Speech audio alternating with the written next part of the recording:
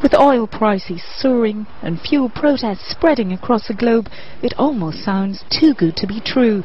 A car that runs on nothing but water. And all kinds of water will do.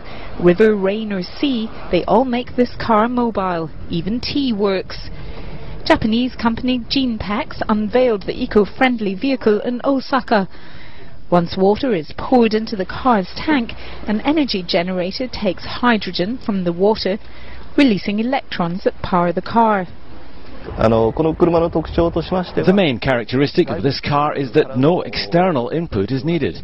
The car will continue to run for as long as you have a bottle of water inside for you to add from time to time.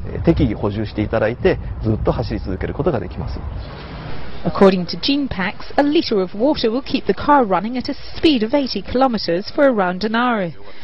The company hopes to go into mass production with a Japanese manufacturer. With car users around the world looking for alternative fuels to power their vehicles, Genepax may well have the solution they've been looking for. Michelle Kalal Al Reuters.